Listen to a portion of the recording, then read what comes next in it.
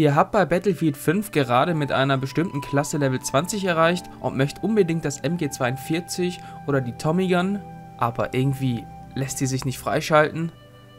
Diesen Unlock-Bug, genau diesen hatte ich auch und ich zeige euch die Lösung.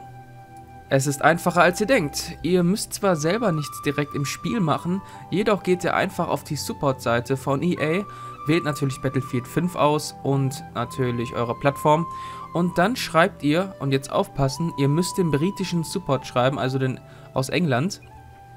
Den schreibt ihr dann im Live-Chat oder eine E-Mail, aber ich würde den Live-Chat bevorzugen. Und der wird euch dann fragen, was passiert ist und so weiter. Und dann schreibt ihr ich bin auf Level 20 mit einer Klasse und ich kriege irgendwie die Waffe nicht freigeschaltet.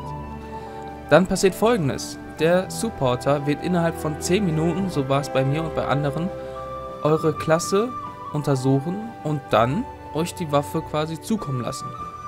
Beziehungsweise freischalten. Wenn das geschehen ist, habt ihr eure Waffe, auf die ihr so lange gewartet habt und das war's dann eigentlich auch schon. Das ist die Lösung. Bei mir hat es geklappt. Innerhalb von 10 Minuten war er fertig. Und ja. Ich denke übrigens, dass es übergangsweise ist und dass bei Release am 20. oder auch später, auf jeden Fall bei einem Patch, dieser Unlock-Bug gefixt wird. Falls euch das Video geholfen hat, hat würde ich mich freuen, wenn ihr ein Abo dalassen würdet und einen Daumen nach oben. Bis zum nächsten Mal.